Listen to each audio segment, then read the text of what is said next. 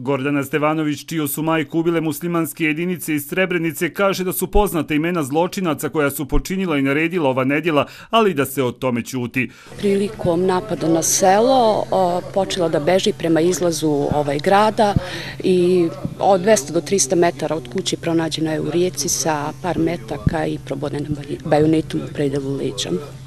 Ovo je samo jedno u nizu svjedočenja preživjelih Srba u okolini Srebrenice, čiji su najmiliji mahom civili ubijeni na najzvjerski način. Ovi grobovi su naša istina. A gde je pravda? 23 godine od završetka rata porodice čekaju pravdu.